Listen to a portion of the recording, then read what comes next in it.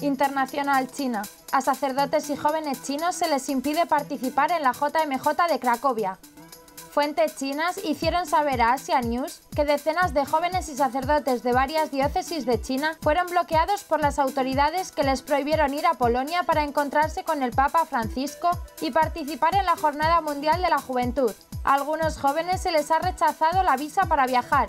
Yendo a Europa, muchos de ellos esperaban también pasar por Roma para visitar los lugares sagrados cristianos. Otros prefieren ir a Francia para pasar por Lourdes y Lisieux, visitando el santuario mariano y los lugares de Santa Teresita del Niño Jesús. En Pekín, en el norte y en las diócesis de la costa oriental, las autoridades del gobierno han prohibido a los sacerdotes oficiales y no oficiales abandonar el país y los han obligado a permanecer en China porque se los considera demasiado cercanos al Papa.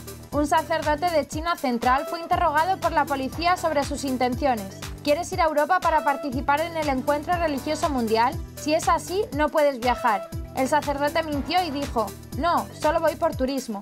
Un sacerdote de la Iglesia Oficial de Pekín dijo que si un colega suyo va a Cracovia de manera no oficial, a su vuelta arriesga perder su cargo pastoral o la ayuda que el gobierno brinda a su parroquia.